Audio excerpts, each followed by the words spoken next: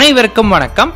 இந்த வீடியோ பக்கத்தில் நம்ம பார்க்க போறது நான்கு ஆறு ரெண்டாயிரத்தி இருபது. சூரியனையும் முருகனையும் ஒன்றாக வழிபாடு செய்து பாருங்கள். பிறகு நடக்கும் மாற்றத்தை.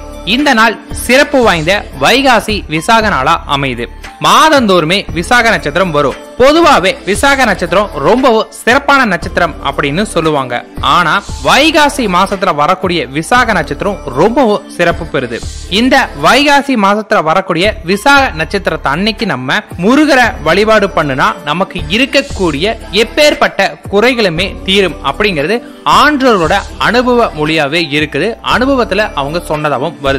விசாக நட்சத்திர தெய்வம் முருகப்பெருமான் அப்படிங்கிறது நம்ம எல்லாருக்குமே தெரியும். இந்த வைகாசி மாதம் விசாக நட்சத்திரத்தை அன்னைக்கு முருகப்பெருமான சூரியன் வழிபாடு பண்றாரு. இதனால இந்த மாதம் ரொம்பவும் சிறப்பு வாய்ந்த ஒரு தினமா நமக்கு அமையுது. முருகப்பெருமானுக்கு விரதம் இருந்து நம்ம வழிபாடு பண்ணணும். வைகாசி விசாகத்தை அன்னைக்கு நம்ம விரகம் மேற்கொண்டு முருகப்பெருமான வழிபாடு பண்ணணும். அந்த நாள் கோவிலுக்கு போய் வழிபாடு பண்ணிட்டு வந்தோம்னா புத்திர பாக்கியமே கிடைக்குங்கிறது பெரியவர்களோட அனுபவம். புத்திர தோஷத்தால கஷ்டப்படுறவங்க இந்த வைகாசி விசாக விரதம் மேற்கொண்டு முருகரை வணங்கி வந்தாங்கன்னா அவங்களுடைய குறைகள் தீரும் அப்படிங்கிறது உறுதி.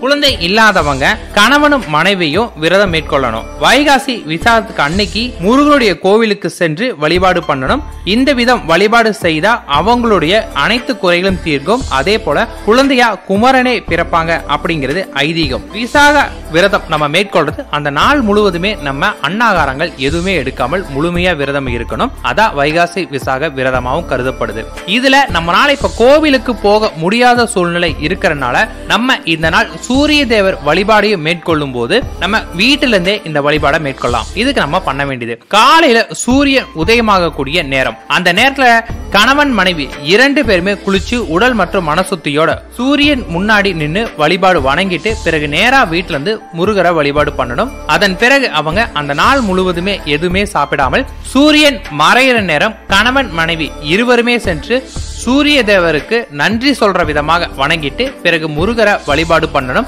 அதன் பிறகு நீராகாரம் சாப்பிட்டு அவங்களுடைய விரதத்தை நிறைவு செய்யணும் இது குழந்தை பாக்கியம் இல்லாதவங்க.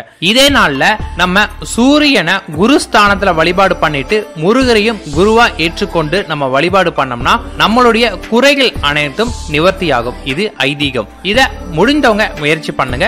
இந்த நாள்ல விரதம் மட்டும் கொஞ்சம் கடுமையா இருக்க வேண்டியது வரும். நீரும் கூட நீங்க குடிக்க கூடாது சோ உடல் எந்த அளவுக்கு ஆரோக்கியமா இருக்கிறவங்க மட்டும் இதை மேற்கொள்ளுங்க. நன்றி வணக்கம்.